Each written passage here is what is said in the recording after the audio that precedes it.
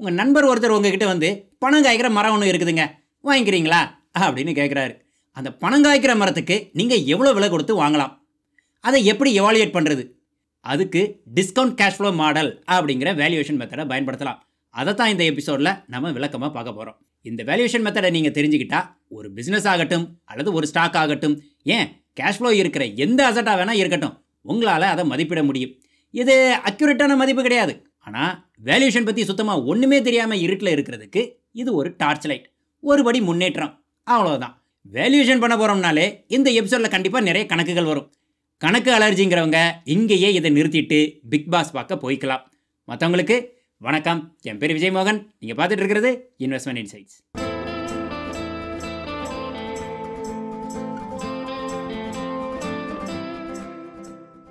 இந்த பணம் காய்க்கிற மரத்தை வேல்யூட் பண்ணுறதுக்கு அதோட கேஷ் ஃப்ளோ நமக்கு தெரியணும்.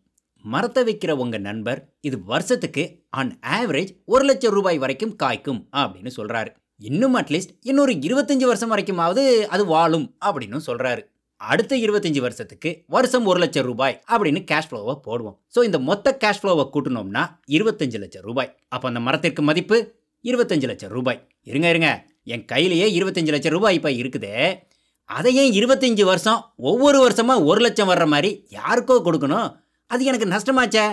அந்த இருபத்தஞ்சு லட்சத்தை நான் வேற எங்கேயாவது நல்ல வளர்கிற மாதிரி இன்வெஸ்ட் பண்ணியிருப்பேனே.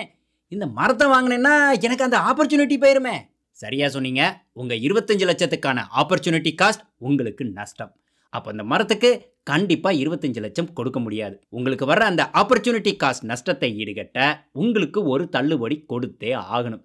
அதாவது டிஸ்கவுண்ட் கொடுத்தாகணும். எவ்வளோ டிஸ்கவுண்ட் கொடுக்கலாம்? அது நீங்கள் அந்த இருபத்தஞ்சு லட்சத்தை வச்சு என்ன பண்ணியிருப்பீங்க? அப்படிங்கிறத பொறுத்தது. நீங்கள் ஏழு பர்சன்ட் வட்டி வர மாதிரி எஃப்டியில் போட்டு வச்சுருந்துருக்கலாம். அப்படி பண்ணுறதா இருந்தால் உங்கள் டிஸ்கவுண்ட் ரேட் ஏழு பர்சன்ட் அப்போ நீங்கள் வாங்க போகிற மரத்தில் இருந்து வர்ற கேஷ் ஃப்ளோவில் ஒவ்வொரு வருஷமும் இந்த ஏழு பர்சன்ட் டிஸ்கவுண்ட்டை அப்ளை பண்ணணும். ஸ்ட்ரைட்டாக இந்த டிஸ்கவுண்ட்டை அப்படியே அப்ளை பண்ணக்கூடாது. இந்த டிஸ்கவுண்ட்டும் ஒவ்வொரு வருஷமும் காம்பவுண்ட் ஆகும். அது எப்படி காம்பவுண்ட் ஆகுங்கிறத தான் இந்த டிஸ்கவுண்ட் ஃபேக்டர் காலமில் பார்க்குறோம். முதல் வருஷம் discount factor point nine three இந்த பாயிண்ட் நைன் த்ரீ எப்படி வந்துச்சு அப்படிங்கிறத இன்னும் கொஞ்சம் நேரம் கழித்து பார்ப்போம். ஒரு லட்சத்தோட தொண்ணூற்றி மூணு பர்சன்டேஜ் சொச்சம் தான் இந்த ப்ரெசன்ட் வேல்யூ காலமில் பார்க்குற தொண்ணூற்றி மூணாயிரம் சொச்சம். இதுக்கு என்ன அர்த்தம்னா தொண்ணூற்றி மூணாயிரத்தி நானூற்றி ஐம்பத்தெட்டு ஏழு பர்சன்ட் வளர்ந்துருந்தா அது ஒரு லட்சம் ஆகியிருக்கும். ரெண்டாவது வருஷம் discount factor point eight seven அப்போ அந்த வருஷம் வரப்போகிற ஒரு லட்சத்துக்கு இன்றைய மதிப்பு எண்பத்தி ஏழாயிரத்து சொச்சம். இங்கே பார்த்துட்டு இருக்கிற நம்பர்ஸ் எல்லாம் நம்ம காம்பவுண்டிங் கால்குலேட்டரில் பார்க்குற அதே நம்பர்ஸ் தான். ரிவர்ஸ் ஆர்டரில் பார்க்குறோம். இந்த எண்பத்தி ஏழாயிரத்தி முந்நூற்றி நாற்பத்தி நாலு ரூபாய் ரெண்டு வருஷம் வருஷத்துக்கு ஏழு பர்சன்ட் வளர்ந்துருந்தா அது ஒரு லட்சம் ஆகியிருக்கும். அதே மாதிரி தான் இந்த மூணாவது வருஷம் நாம் பார்க்குற எண்பத்தி ஓராயிரத்தி அறநூற்றி முப்பது ரூபாய்.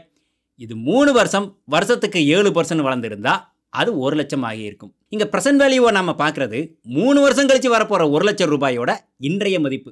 இந்த ப்ரெசன்ட் வேல்யூ கால்குலேஷன் தான் ஒவ்வொரு ஃபைனான்ஸ் கிளாஸ்லையும் வர்ற very first topic present value equals future value divided by one plus interest rate to the power of number of years so மூணு வருஷம் கழித்து வரப்போகிற ஒரு லட்சத்தோட இன்றைய மதிப்பு ஒரு லட்சம் டிவைடட் பை ஒன் ப்ளஸ் நம்ம discount rate seven percent to the power of three அது எண்பத்தி ஓராயிரத்தி அறநூற்றி முப்பது.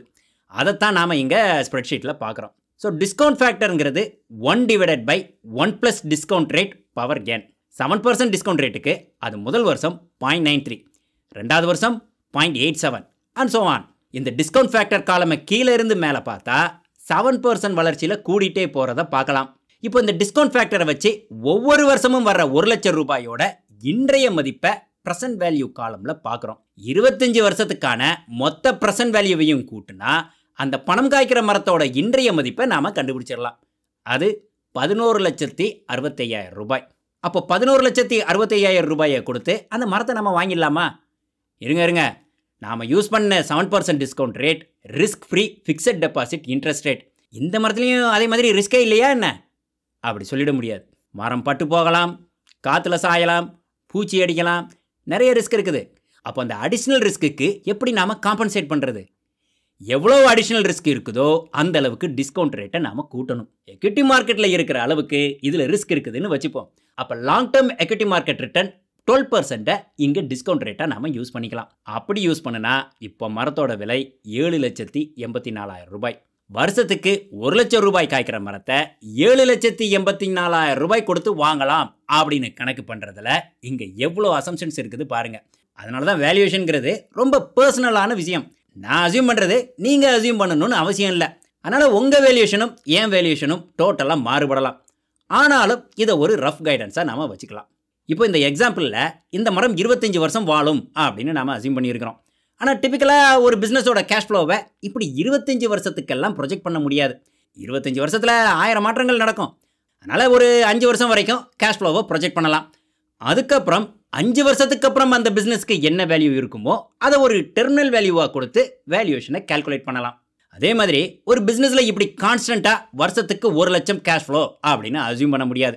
ஒரு நல்ல பிஸ்னஸ்னால் அதோட லாபத்திலிருந்து வர்ற ஃப்ரீ கேஷ் ஃப்ளோ வருஷா வருஷம் கூடிட்டே போகணும். அது வளர்கிற வேகம் அதாவது அதோட க்ரோத் ரேட் நமக்கு தெரியணும். அந்த க்ரோத் ரேட்டை யூஸ் பண்ணி வருஷா வருஷம் அதோட கேஷ் ஃப்ளோவை கூட்டணும். சரி நம்ம எக்ஸாம்பிளுக்கு முதல்ல டெர்மினல் வேல்யூவை கால்குலேட் பண்ணலாம். அதை எப்படி பண்ண? அதுக்கு கார்டன் க்ரோத் மாடல் ஃபார்முலாவை யூஸ் பண்ணணும். Final year cash flow times one plus perpetuity growth rate divided by discount rate minus perpetuity growth rate perpetuity growth rate அப்படிங்கிறது ஃபைனல் கேஷ் ஃப்ளோக்கு அப்புறம் இந்த பிஸ்னஸ்க்கு எவ்வளோ க்ரோத் ரேட் எதிர்பார்க்குறோம்? அதுதான் பெர்பிச்சுவிட்டி க்ரோத் ரேட் நம்ம எக்ஸாம்பிளுக்கு growth rate and perpetuity growth rate zero பர்சன்ட்னு assume பண்ணுறோம் அப்போ டெர்மினல் வேல்யூ எட்டு லட்சத்தி முப்பத்தி மூணாயிரம். அதே அஞ்சாவது வருஷம் டிஸ்கவுண்ட் ஃபேக்டரை யூஸ் பண்ணி இதோட ப்ரெசன்ட் வேல்யூவை கால்குலேட் பண்ணுறோம் அது நாலு லட்சத்தி எழுபத்தி ரெண்டாயிரம். இப்போ நம்ம மரத்திற்கான வேல்யூ எட்டு லட்சத்தி முப்பத்தி மூணாயிரம் ரூபாய். இங்கே ஒன்று கவனிச்சிங்களா? அஞ்சு வருஷம் கழிச்சு கால்குலேட் பண்ணின டெர்மினல் வேல்யூவும் இதே எட்டு லட்சத்தி முப்பத்தி மூணாயிரம் தான். அது ஏன்னா நம்ம எக்ஸாம்பிளுக்கு க்ரோத் ரேட் இல்லை. கான்ஸ்டன்ட் கேஷ் ஃப்ளோ இப்போ நம்ம மரம் ஒரு க்ரோத் கம்பெனி மாதிரி வருஷா வருஷம் பத்து பர்சன்ட் வளருதுன்னு வச்சுப்போம். அப்போ க்ரோத் ரேட் பத்து பர்சன்ட் ஃபியூச்சர் கேஷ் ஃப்ளோ வருஷா வருஷம் பத்து பர்சன்ட் கூட்டிகிட்டே போகிறத இங்கே பார்க்கலாம். அஞ்சு வருஷத்துக்கு அப்புறம் மரம் ஃபுல்லாக மெச்சூர் ஆகுது. அதுக்கப்புறம் கான்ஸ்டண்ட்டாக வருஷா வருஷம் அஞ்சு பர்சன்ட் வளருது.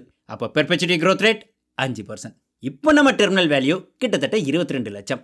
அந்த டெர்மினல் வேல்யூவோட ப்ரெசன்ட் வேல்யூ பன்னெண்டு லட்சத்தி நாற்பத்தாறாயிரம் ஆக இந்த மரத்தோட மொத்த இன்றைய மதிப்பு பதினாறு லட்சத்தி எழுபத்தி ஆறாயிரம் ரூபாய்.